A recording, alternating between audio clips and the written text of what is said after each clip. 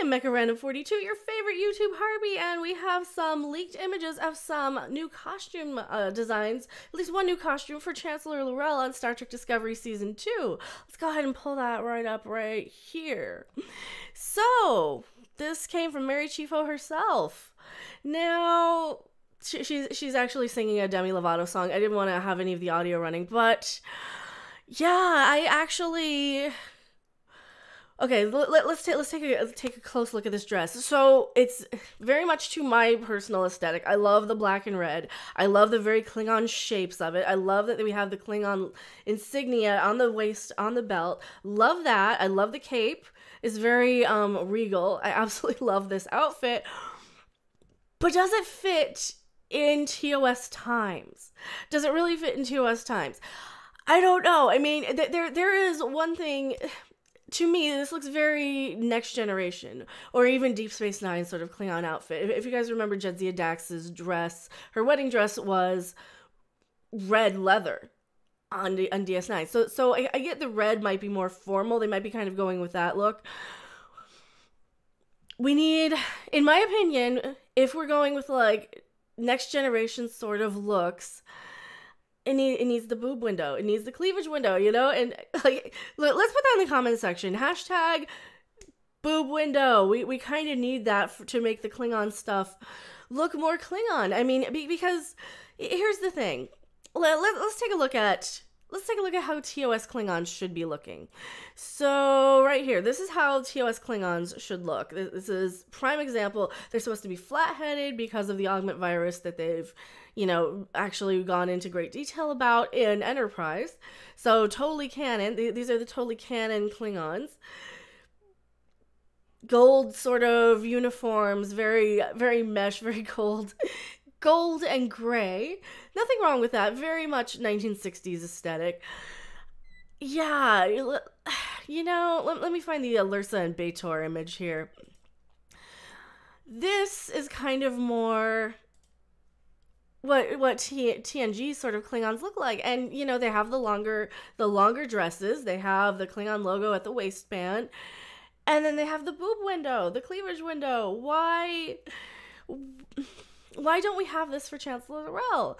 I mean, in my opinion, for for a show that is so the future is female, which they've they've leaked, and I, I have a video where they leaked some of that information where they were trying to market the show as the future is female why then are they so anti femininity? Why are they so anti sexuality almost on these shows? There there's nothing sexual about anything in and discovery i, I mean seriously this is this is the most sexual we get is uh, you know L'Rell raping Voq in a non-sexy almost disturbing sort of sort of scene so why do we have why are we kind of promoting the Klingons and, and this whole futurist female sort of sort of message? And I will link that video in, in my description below. That's one of my really old videos where um they, they leaked a the future is female sort of thing at a convention a while back. Why why do we have why do we go out of our way to cover up? Why are we going out of our way? And, and yeah, I get it. She's going to be the chancellor. So let's, let's take a look at this again. She's going to be the chancellor she's she's taking command of of you know the Klingon High Command. I can't remember the name. She, she's going to be in charge of the Klingons, basically. I get so I get so frustrated. I forget words sometimes, and you know it, maybe because they wanted to be more formal, more regal, which is fine. I mean, it's it's really it's really an improvement of kind of just the chunky armor that they had her in in the first season. It looked like it came out of Dracula, but but this I don't st- I still don't think this quite fits in. And and you know another nitpick I have that has nothing to do with the dress, but I have to bring this up while it's on screen. The hallways look very next generation as well. And they're they're lit well the way they're lit here for probably like a, an in between shoot time like it, this is probably a break time because you know here she is she's dancing she's having fun she's you know the hallways look very much next generation they don't look TOS still. And, and, and not only that, okay, if they can look very Star Trek with just some lighting adjustments, why do we have to have it blue and and dark and depressing? You know, because the future is blue and dark and depressing apparently. I don't I don't know. Uh, and so I'm really torn about this picture. What do you guys think? I mean, this is light years of an improvement for sure. This is way better than the last leaked image with like the kind of copper brown sort of image. And I'll, I'll link that video in the description below as well. This is light years better, you know, but they still have her face too covered up. She's a beautiful woman. Why hire a beautiful actress? If you're going to cover their faces so much you know and and she still has a very gray corpse looking skin coloring which doesn't really change so much in the lighting especially once they start lighting her blue. She still doesn't really look super klingon. To me klingons um they, they put a lot of sort of brown makeup on them. Even like the kind of more caucasian-y klingons they, they put very brown makeup on them. And then they have very dark klingons and they have some lighter klingons but not gray like this. This looks very gray. And once they turn on the blue lighting, she still looks very gray.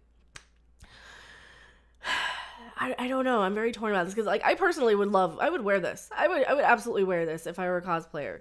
I actually really like this outfit. I would probably fix it. I would probably put in a cleavage window or something, wear push-up bra, something you know and, and, and let's see is there so she does spin around. You can get a good look at her hair as well here. You, you can you can see that it's pulled back. It's very i mean I, I it works as a klingon hairstyle for me a little bit it's the, the makeup still is wrong we can see Voq here so so yeah, you, you can see she's got it very pulled back. It's very long. It's not it doesn't it doesn't have the, the curliness that Klingons usually have. I you know I always say I have very Klingon hair because when I don't straighten the crap out of it, it is poofy and curly and it, and it's just a mess of long curly hair when I you know before I actually go through and, and blow dry it and straighten it out for the day. And now I can't say that because the little Klingons were bald for the whole discovery, and and now this is like almost dread. Yeah, these, these are braids. These might be braids. So I'm, I'm waiting for somebody to say, "Oh, cultural appropriation." She's she's stealing braids from you know ethnic people, or that that'll be the next crazy thing that they say. And you know what, uh, whatever. But uh, and she didn't design the hair obviously so it's not the actress's fault. We, we, we gotta leave it to the hair and makeup people again. But you know i don't mind this. Also also for everybody who said oh yeah she looked pregnant she might have been pregnant in the last one she doesn't look pregnant here. The character does not look pregnant in this shot. This is a very slim actually really nice looking dress. I i like the costume. It just needs to be it just needs to be open here.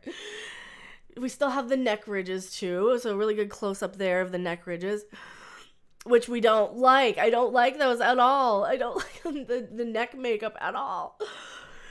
What do you guys think? I mean, am, am I so wrong in thinking that Klingons would have used anything that they had?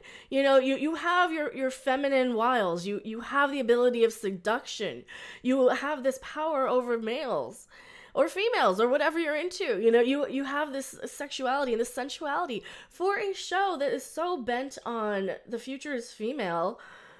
Where's the sensuality? Where's the sexuality? Where where is anything? You know dropping a few f bombs doesn't make it a mature show. Having a, a grotesque sex scene doesn't make it a mature show. Have some mature themes. Have some have something that doesn't sound like junior high school people wrote it.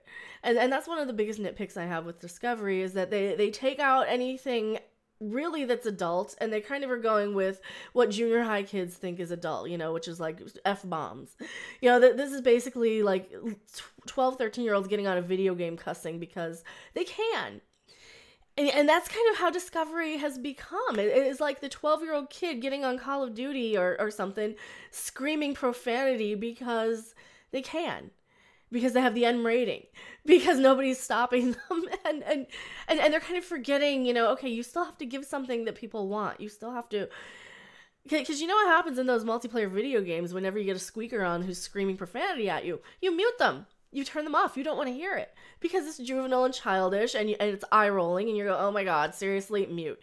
And that's and that's kind of how we are with Discovery. I don't know. What, what do you guys think? Am I completely off the mark on this one? Do you guys want to see the, the, the cleavage window? Hashtag cleavage window, hashtag boob window. Let me know in the comment section below. I mean, is this an improvement to you guys? Is this not an improvement? I think it's, it's still a, really an improvement from the last leaked image that we saw. I actually would wear this. It's still not right though. It's still not Star Trek. It's still not TOS timeline. in my opinion. And and from from a lot of the other sources, uh, like you know how the Klingons looked in TOS, it doesn't quite look right to me. Anyway, thank you guys so much for watching. I am Mecha Random 42 I have Twitter, Patreon. I will link those two videos in the description below, and I will see you guys on the next live stream or video. Bye!